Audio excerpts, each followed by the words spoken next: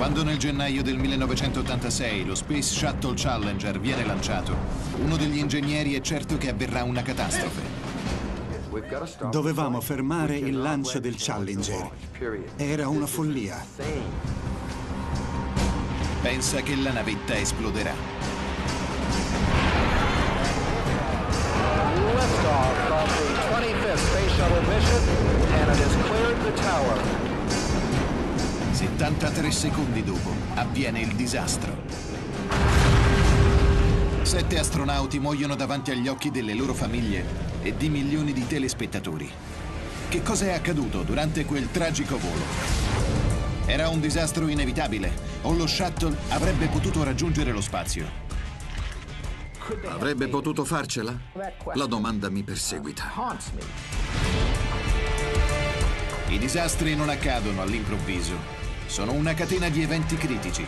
Scopriamo gli indizi e cominciamo il conto alla rovescia di quegli ultimi secondi fatali.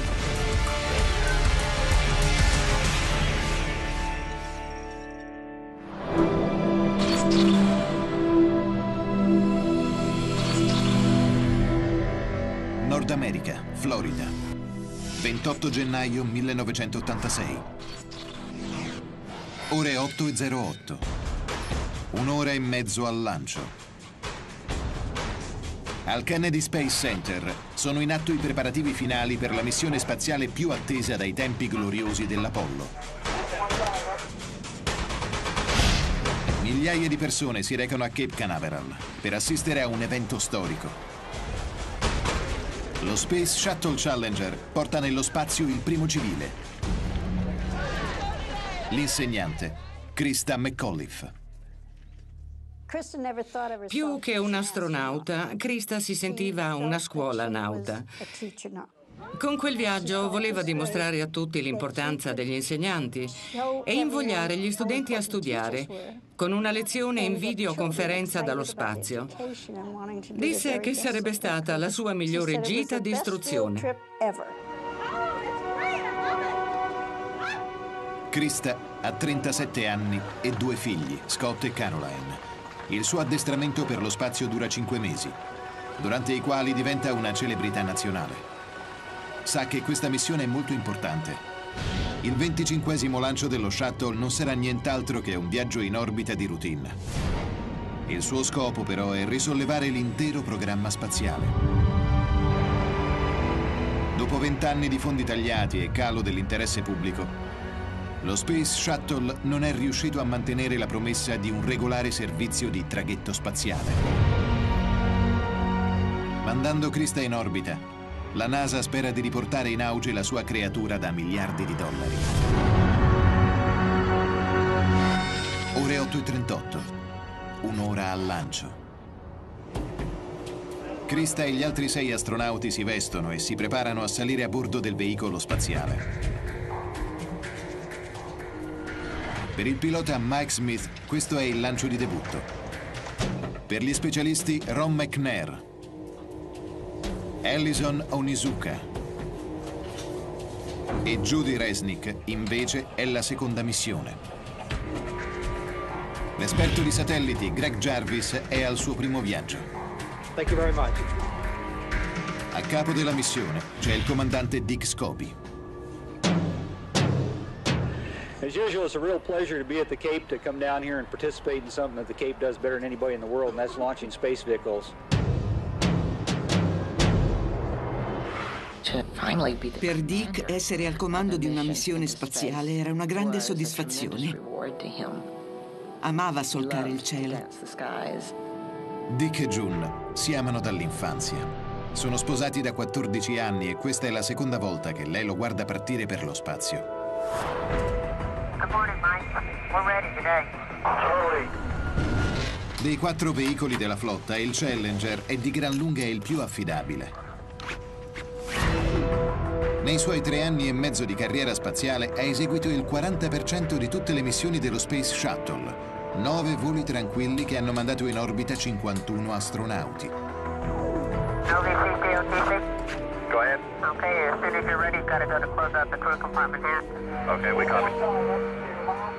Ma questa missione non va secondo i piani. Il maltempo ha ritardato il lancio di oltre una settimana. Il freddo insolito ha creato sulla piattaforma di lancio lastre di ghiaccio spesse 7 cm e e ghiaccioli di un metro.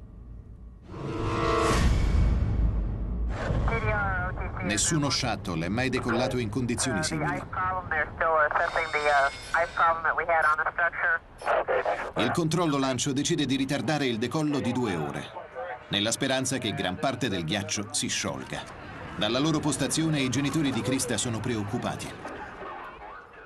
Le condizioni non erano adatte. E se mio marito avesse potuto, l'avrebbe fatta scendere. Good morning, Krista. Hope we go today. Good morning. A 30 minuti dal lancio, il controllo del traffico aereo autorizza il volo 677 della Eastern Airlines a sorvolare Cape Canaveral per dirigersi a Tampa. All'improvviso l'aereo incontra una corrente a getto. Il pilota scende a 9.000 metri per evitare le turbulenze. Vede il Challenger ancora sulla piattaforma di lancio e presume che la ragione del ritardo sia il vento. This is Mission Control Houston at the T-minus 9 minute mark. Flight controllers are ready to support launch. Uh, Roger, welcome. Nove minuti prima del decollo, il controllo lancio si assicura che i sistemi di propulsione dello shuttle funzionino alla perfezione. Booster go. I tre motori principali del Challenger bruciano circa 4.000 litri di propellente al secondo, alimentati dall'enorme serbatoio esterno, alto 46 metri. Ma la vera centralina del sistema sono i due imponenti razzi vettori laterali. Le loro 3.000 tonnellate di spinta accelerano il veicolo fino a 28.000 km orari, la velocità necessaria per superare la gravità. Tutti i sistemi del Challenger funzionano perfettamente e la decisione è unanime. Mission Control, this is Kennedy. We are go for launch.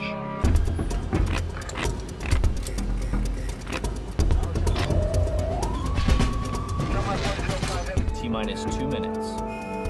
Con una simile quantità di carburante in un solo serbatoio il rischio è evidente, ma nella storia spaziale americana nessun astronauta è morto al decollo. Per qualcuno questo è un dato confortante. Ad un certo punto tutti hanno paura, ma poi ci si convince che la NASA non può sbagliare. Krista mi disse, sai mamma, possiamo spegnere i razzi all'ultimo secondo se qualcosa va storto. 10, 9, 8, 7, 6,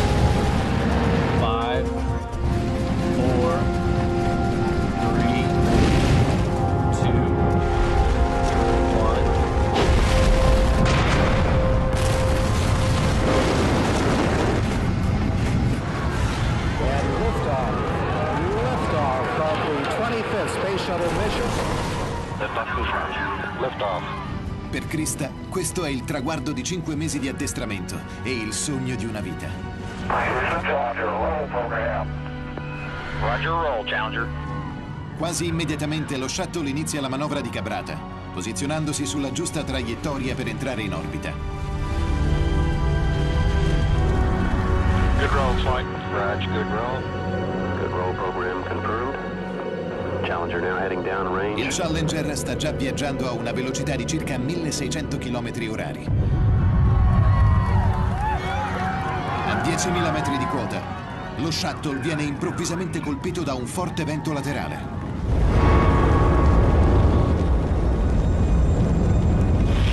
A oltre 3.000 km di distanza, l'ingegnere Roger Boscioli osserva la scena inorridito.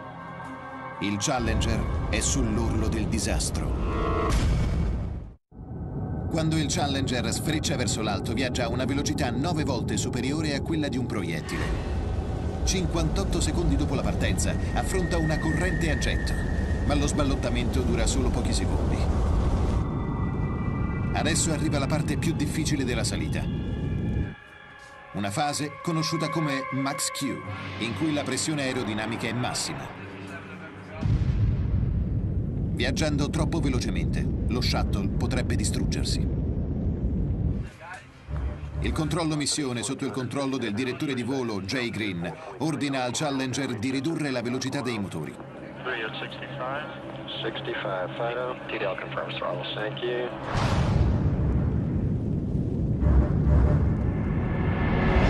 A 66 secondi dalla partenza, il Challenger riceve il cessato allarme. Ha superato brillantemente il Max Q ed è penetrato nell'atmosfera superiore. Ora deve accelerare oltre i 28.000 km orari per superare la gravità terrestre. Bisogna portare i motori principali alla massima potenza. Il controllo missione dà il via. Challenger, go with throttle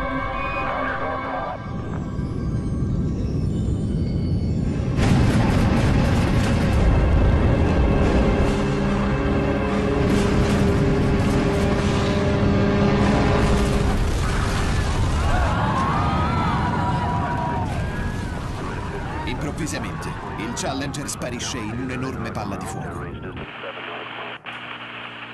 Al controllo missione sono esterrefatti.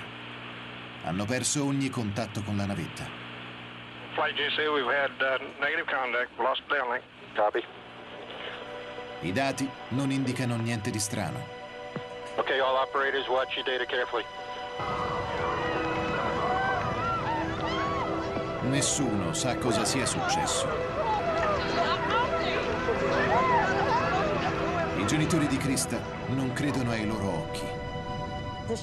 Lo shuttle era sparito e sapevamo tutti che era successo qualcosa di orribile, ma ovviamente nessuno sapeva cosa. Flight controllers here looking very carefully at the situation. Obviously a major malfunction. Proprio quello che doveva essere il momento più emozionante è stato il più tragico. I razzi rimangono intatti e proseguono a gran velocità. Per motivi di sicurezza, vengono fatti esplodere con un radiocomando.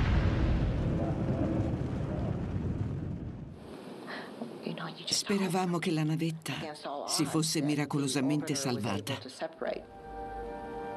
Quando i numerosi detriti ricadono nell'Atlantico, è fin troppo evidente quello che è successo.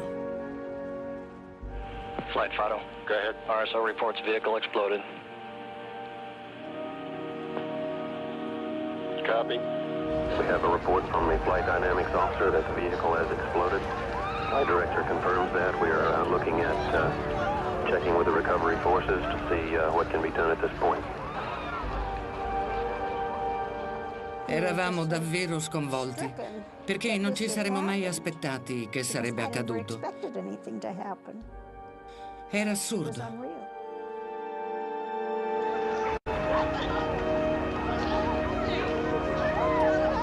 Incredibilmente, quando il relitto emerge dalla palla di fuoco, il compartimento dell'equipaggio è ancora integro. Fido flight. Go ahead. Did the RSOs have an impact point? Stand by. Al controllo missione, Jay Green individua il punto esatto in cui la navetta ha colpito l'oceano. DoD LSO reports that all soft forces have been scrambled and they are on their way. Viene immediatamente avviata una grossa operazione di ricerca e salvataggio. C'è la speranza che gli astronauti siano ancora vivi. Poi compare un paracadute che scende dal cielo. Ma è una falsa speranza. Il paracadute è attaccato al muso di uno dei razzi ausiliari. È uno dei tanti detriti che continuano a piovere sull'Atlantico. Il compartimento dell'equipaggio non si vede. Essendo precipitato per 19 km, deve aver colpito l'acqua a una velocità di circa 320 km orari. L'equipaggio non ha avuto scampo. Restammo senza parole e i nostri cuori si ridussero in frammenti ancora più piccoli di quelli che stavano cadendo dal cielo.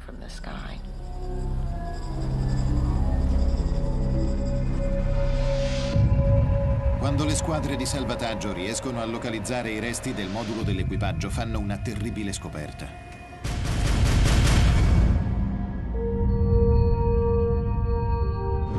Quando è esploso, lo Space Shuttle Challenger stava viaggiando a una velocità pari quasi al doppio di quella del suono. Con pochi elementi a disposizione, la NASA deve fare l'impossibile per capire che cosa è successo esattamente. Ma con il recupero del compartimento dell'equipaggio può essere in grado di ricostruire quanto è accaduto agli astronauti dopo l'esplosione.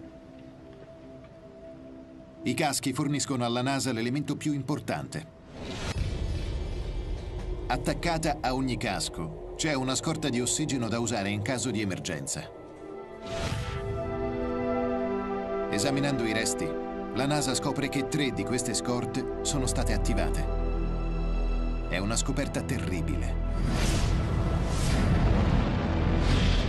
Significa che almeno tre degli astronauti sono sopravvissuti all'esplosione e forse erano ancora vivi al momento dell'impatto in acqua. Un viaggio di oltre due minuti e mezzo. Durante la funzione commemorativa, il presidente Reagan rende omaggio ai coraggiosi astronauti. Sono presenti tutte le famiglie, compresa quella di June. Eravamo a malapena in grado di mettere un piede davanti all'altro. Tutte le famiglie erano in silenzio. Eravamo scioccati. Non si è mai preparati a una cosa simile.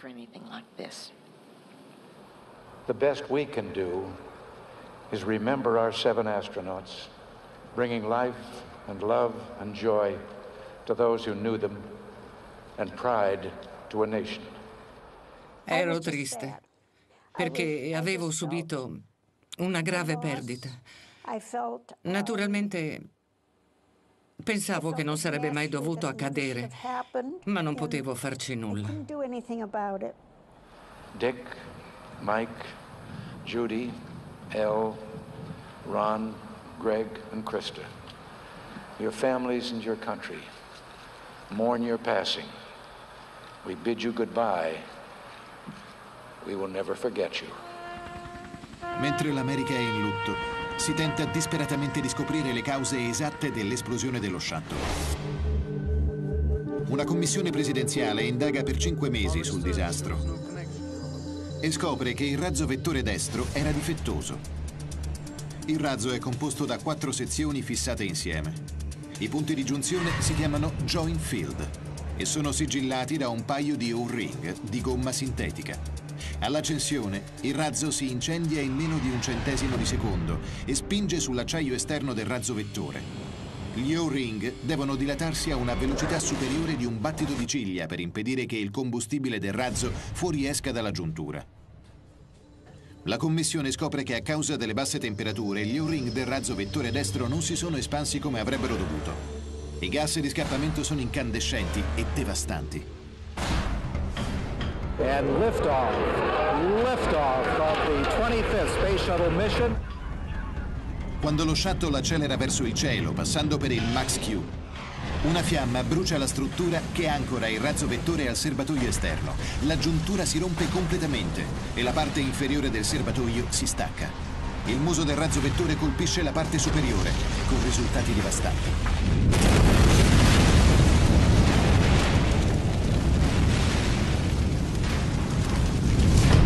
Oggi qualcuno è convinto che la spiegazione di tutto ciò non stia solo negli O-ring e nelle condizioni atmosferiche. Dopo le indagini sul Challenger, secondo l'opinione pubblica, i fattori che hanno provocato l'esplosione erano due, freddo e O-ring. In realtà la questione è più complessa. Autore rinomato, James Childs ha trascorso vent'anni a fare luce su alcuni dei peggiori disastri tecnologici del mondo. Ha compiuto indagini su tutto, dall'esplosione nucleare di Chernobyl alla tragedia del Concorde della Air France. Childs crede che gli O-ring difettosi non possano essere stati l'unica causa dell'incidente del Challenger. Si pensava che se un O-ring fosse stato difettoso, l'esplosione sarebbe avvenuta sulla rampa. Invece lo ha fatto dopo 73 secondi. C'è un'anomalia, quindi deve essere successo qualcosa di più di un semplice cedimento di un O-ring. Childs sa che ogni dettaglio del lancio del Challenger è vitale per completare il puzzle. Comincia a riesaminare le prove che hanno portato la commissione alla conclusione che la colpa fosse degli O-ring.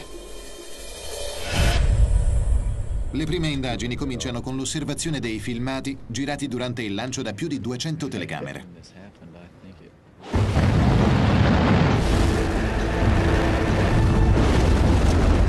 Nei primi due secondi, le immagini mostrano uno strano fumo che esce dal retro del razzo vettore destro, vicino al serbatoio esterno.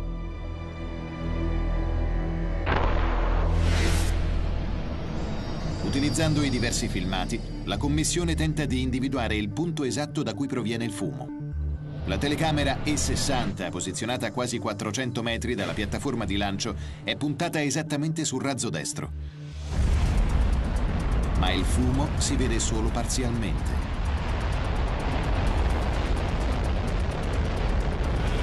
Successivamente Childs esamina le immagini della telecamera E63, quasi 600 metri a ovest, nella speranza che l'inquadratura sia migliore. Ma nemmeno stavolta le immagini sono chiare.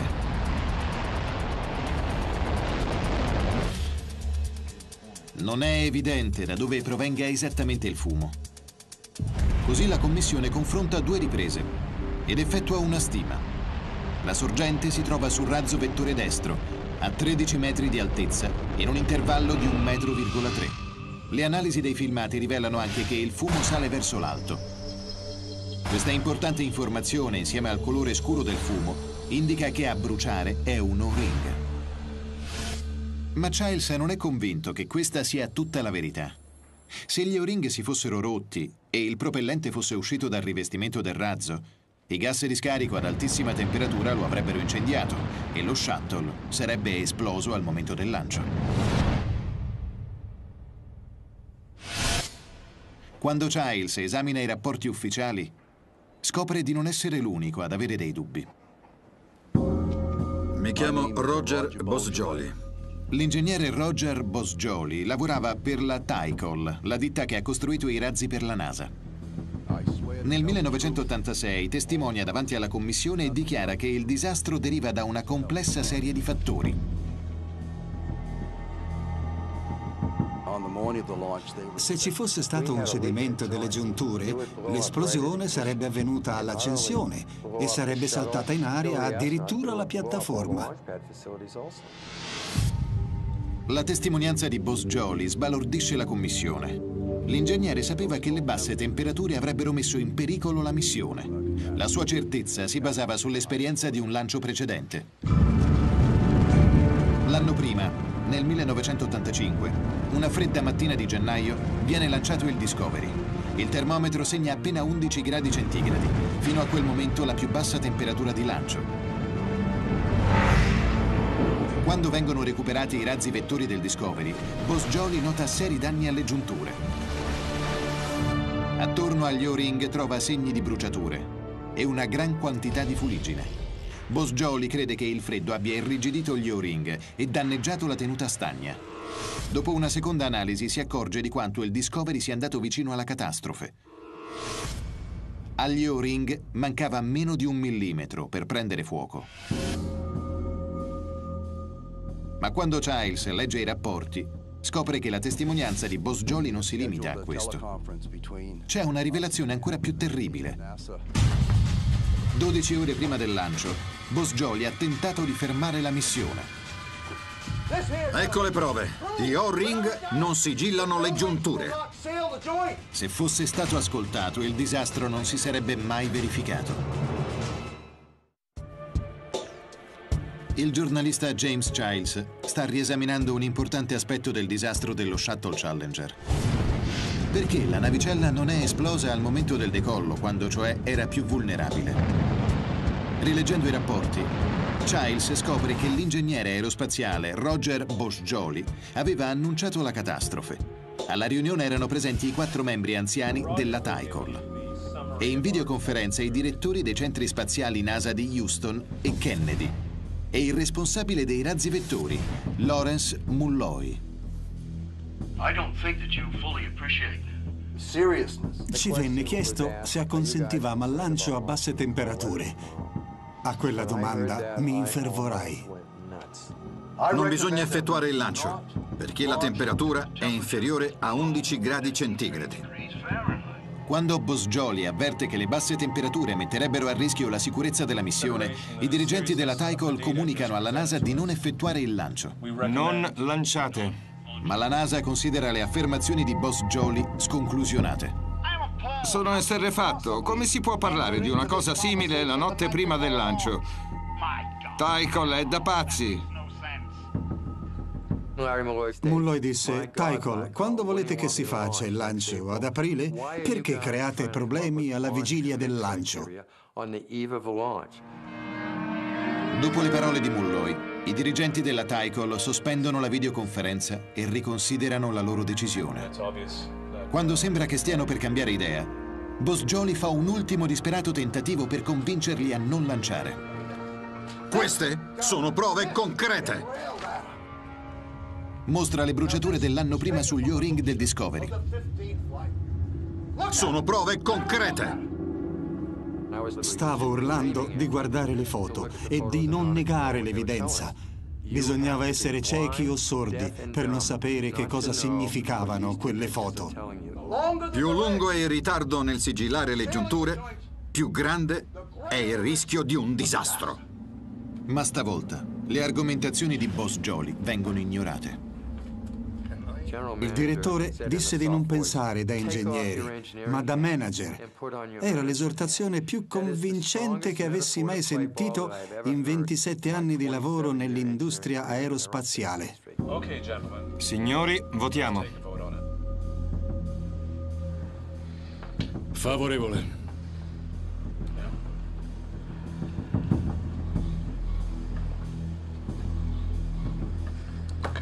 Tutti e quattro i dirigenti acconsentono al lancio. Qui Tiocol. Qual è il verdetto? Procedete. Quando la NASA viene informata, Lawrence Mulloy approva immediatamente la decisione. Ero così arrabbiato. Dovetti contenermi e non pensare a quello che stava accadendo, altrimenti sarei scattato in piedi e avrei preso tutti a pugni.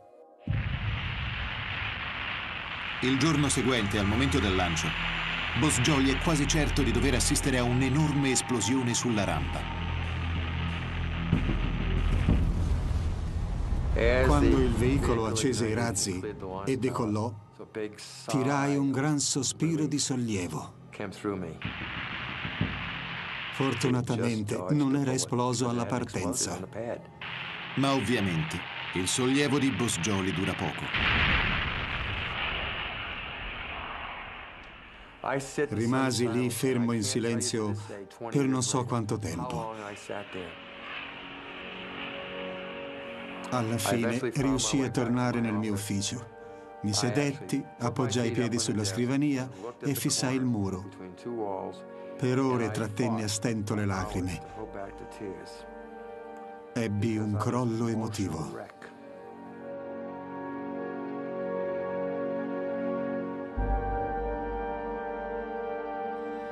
Se persino l'unico uomo che ha predetto il disastro è sconvolto da quanto accadde, sicuramente c'è molto da scoprire sulle modalità della morte dei sette astronauti.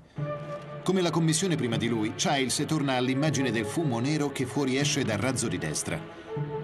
Dopotutto, questo è l'elemento che getta la responsabilità degli incidenti sugli O-ring. Ci sono altri indizi importanti da ricavare da questo prezioso filmato. Uno salta subito agli occhi. Il fumo comincia a uscire e dopo due secondi smette. Perché? Dal filmato vediamo che il fumo comincia a uscire al momento del lancio, ma dopo due secondi si ferma. Qualcosa lo ha bloccato, ma cosa? Ma c'è di più. Il fumo non esce tutto insieme formando una scia, ma è composto da otto sbuffi. Perché questa intermittenza? Gli investigatori sanno che il razzo è sottoposto a un incredibile stress al momento dell'accensione. Così esaminano al dettaglio questa fase critica. Per innescare il motore viene utilizzata una carica pirotecnica, fatta esplodere all'interno del propellente solido. In meno di un centesimo di secondo il razzo si accende. La forza dell'esplosione fa espandere bruscamente verso l'esterno il rivestimento di acciaio.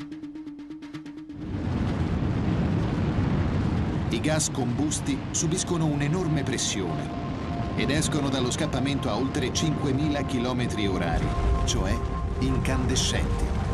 Nonostante le continue sollecitazioni, però, le giunture del razzo di destra del Challenger in qualche modo si saldano e fermano la fuoriuscita di fumo.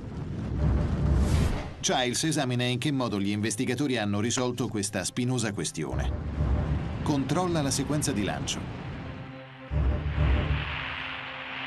Sei secondi prima della partenza viene acceso il motore principale.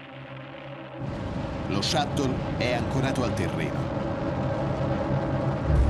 L'enorme spinta fa oscillare il muso del Challenger di due metri. Quando ritorna in posizione verticale, i sostegni che ancorano lo shuttle vengono sganciati e contemporaneamente vengono accesi i razzi vettori. L'innesco dei motori provoca un'onda d'urto per tutto il veicolo. La NASA chiama questo fenomeno Tuang. È possibile che il passaggio delle vibrazioni per lo shuttle abbia fatto aprire e chiudere le giunture del razzo. Può essere questo il fenomeno che ha fatto uscire il fumo a sbuffi. Se è così, l'intermittenza del fumo dovrebbe corrispondere esattamente alla frequenza del twang, che è di 3 vibrazioni al secondo. Da attenti esami del filmato, sembra proprio che il fumo esca con la stessa frequenza.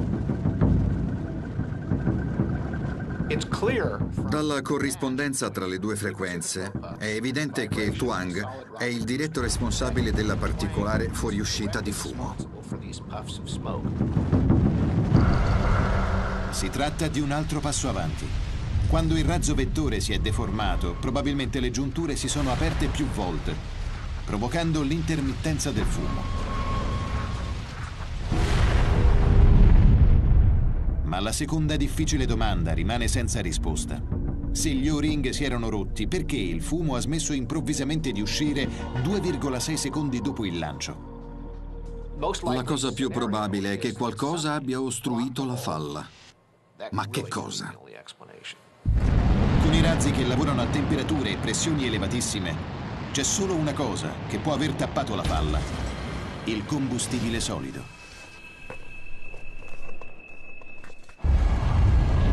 Negli anni 50 il propellente solido viene rivoluzionato dall'aggiunta di un nuovo elemento, l'alluminio. La combustione avviene a temperature più elevate e la spinta finale viene incrementata del 50%. Ma il combustibile con aggiunta di alluminio lascia un residuo solido chiamato scoria, che viene espulso insieme ai gas di scappamento. Dopo aver letto rapporti molto dettagliati, Childs pensa che la scoria possa essere la chiave del mistero. Non sappiamo l'esatta dinamica, ma l'ipotesi è realistica. Quando il razzo si è acceso, le scorie di alluminio hanno ostruito il buco lasciato dagli O-ring danneggiati, impedendo così ai gas di uscire dal joint field. Questo processo spiegherebbe perché lo shuttle non è esploso al lancio. Ma dal momento che il veicolo ha superato le traumatiche scosse del lancio, la fase più pericolosa di ogni missione, perché è esploso dopo 73 secondi di volo?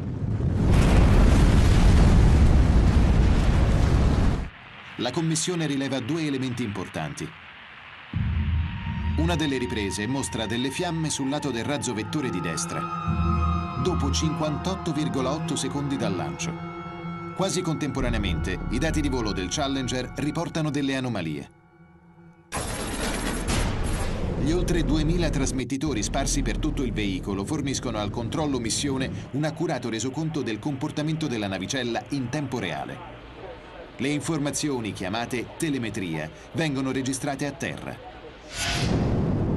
A 60,12 secondi, la telemetria rivela che la pressione nel razzo cala improvvisamente da 45 a 43 kg per centimetro quadrato. La pressione è calata di 2 kg per centimetro quadrato.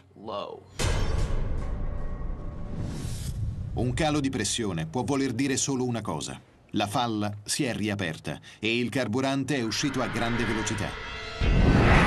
Adesso Giles deve scoprire perché è successo. Nota subito una cosa che sembra molto più di una semplice coincidenza. Nel momento in cui appaiono le fiamme, dopo 58,8 secondi di volo, il Challenger sta attraversando una zona pericolosa chiamata Max Q. Si tratta del punto in cui la resistenza dell'aria incontrata dallo shuttle è massima.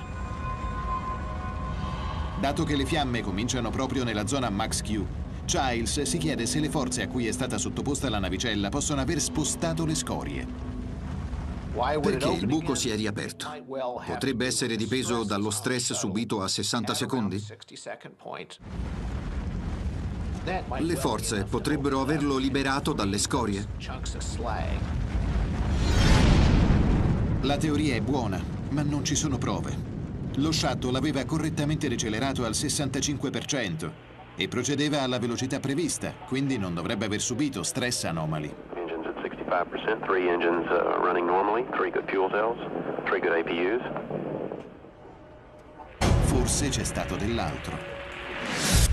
Sfogliando un rapporto privato di un ingegnere che ha esaminato l'incidente per conto della Morton Tycol, Childs avanza un'altra ipotesi. Controlla nuovamente il filmato della partenza del Challenger.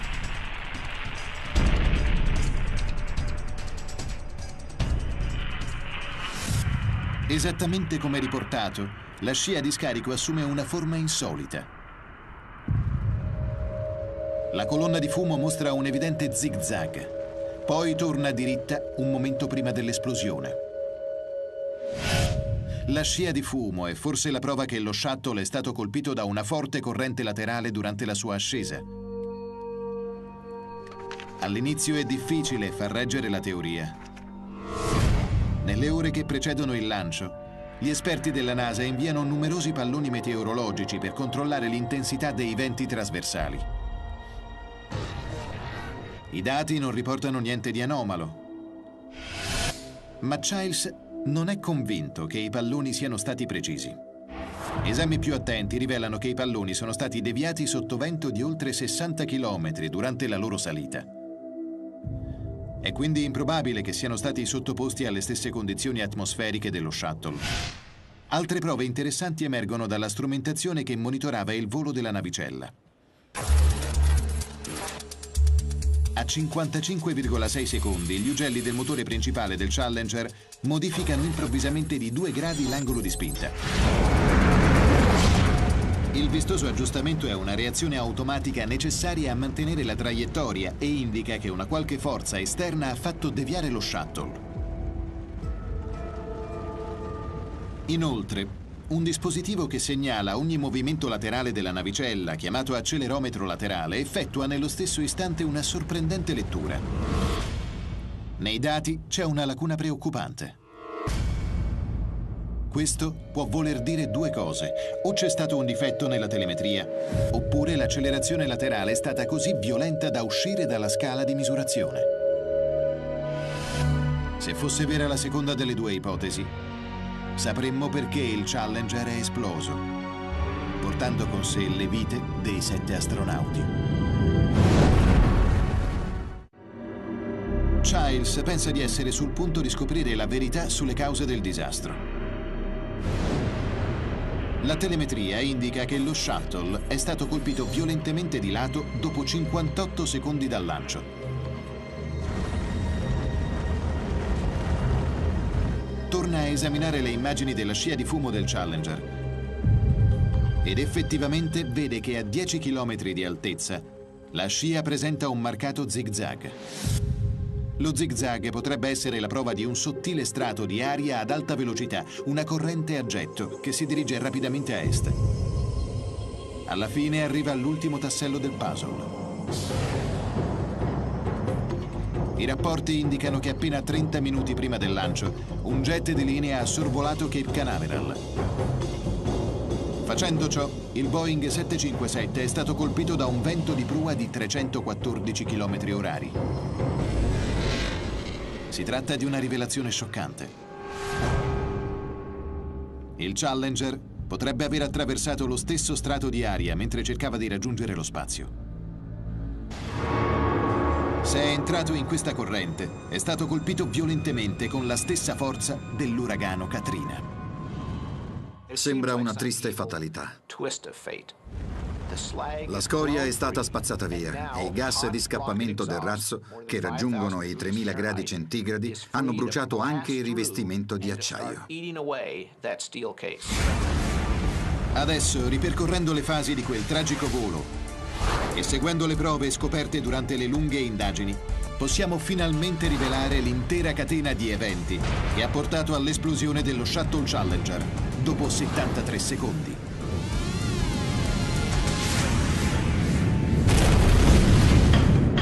Four, three, 73 secondi al disastro.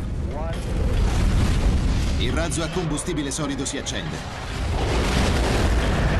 Gli O-ring del razzo vettore di destra sono stati danneggiati dalle basse temperature e non sono in grado di sigillare correttamente le giunture della parte bassa. Cominciano a bruciare. Lift lift Appena escono i gas incandescenti, piccoli pezzi di scorie di alluminio del carburante si accumulano e tappano i buchi, evitando una catastrofe sulla rampa di lancio. 15 secondi al disastro. Il Challenger attraversa una corrente d'aria ad alta velocità. Viene scosso violentemente. Le scorie di alluminio si staccano. Quasi istantaneamente sul razzo vettore di destra compaiono le fiamme.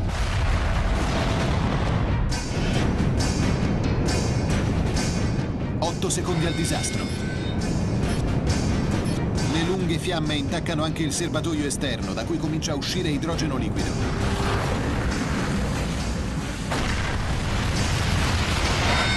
Un secondo al disastro. Il punto di ancoraggio con il razzo cede e il fondo del serbatoio vola via. L'idrogeno liquido viene a contatto con l'ossigeno appena la punta del razzo urta violentemente la cima del serbatoio esterno.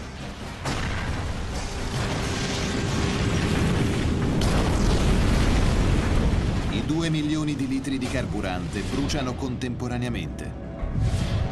Lo shuttle esplode.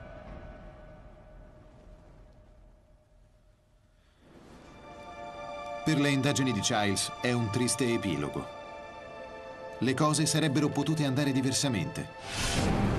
Il giornalista è certo che se il vento non fosse stato così forte, le scorie sarebbero rimaste al loro posto la pressione all'interno del razzo sarebbe rimasta stabile e dopo due minuti di volo i razzi vettori si sarebbero spenti e staccati dallo shuttle.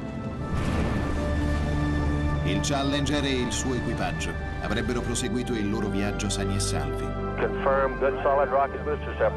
Se le scorie di alluminio avessero resistito solo per altri 62 secondi, probabilmente oggi quegli astronauti sarebbero ancora vivi.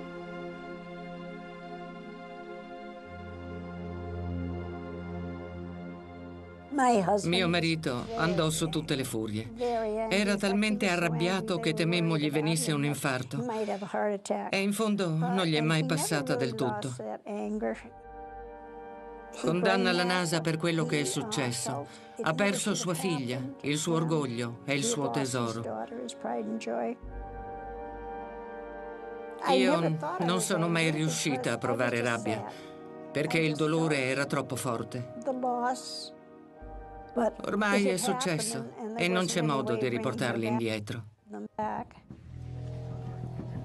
Nel rapporto finale la commissione parlamentare imputa l'esplosione del Challenger a cattive condizioni meteorologiche, a errori decisionali e a un piano di volo inaffidabile. Mi crollò il mondo addosso quando seppi dell'incidente e delle cause che l'avevano provocato. Fu un giorno difficile per tutti. Eravamo arrabbiati, tristi, dispiaciuti. È stata una tremenda perdita. I dirigenti della NASA e della Morton Tycol vengono ritenuti responsabili della decisione di lanciare. La NASA disse che si trattava di una missione spaziale di routine a basso costo, che doveva essere portata a termine. La pressione crebbe. Vennero commessi degli errori e vennero ignorati dei segni. Quindi la colpa non è degli O-ring. È stato il sistema ad abbattere il Challenger. Nei mesi successivi al disastro, la Morton Tycol paga 4,3 milioni di dollari alle famiglie degli astronauti, ma stipula un contratto da quasi 2 miliardi di dollari con la NASA per progettare un nuovo tipo di razzo. Lawrence Mulloy viene promosso vice responsabile dell'intero sistema di propulsione. Roger Bojoli si dimette dalla Morton Tycol a causa di un esaurimento nervoso. I primi due anni furono infernali. Non ho fatto niente di sbagliato. Tutti hanno il dovere di fare quello per cui vengono pagati e questo vuol dire battersi per ciò che si ritiene giusto. È quello che ho fatto io e lo rifarei. Il programma dello shuttle viene accantonato per tre anni. Nel frattempo viene revisionato il veicolo e installata una serie di dispositivi di sicurezza. Ma nonostante ciò, nel 2003 il Columbia esplode durante il viaggio di rientro dallo spazio. Altri sette astronauti perdono la vita. Le indagini sull'incidente concludono che la NASA non ha imparato tutto dall'episodio del Challenger. Fino a oggi, le speranze di realizzare un traghetto spaziale non si sono ancora realizzate e per ora nessun altro civile ha volato a bordo di uno shuttle.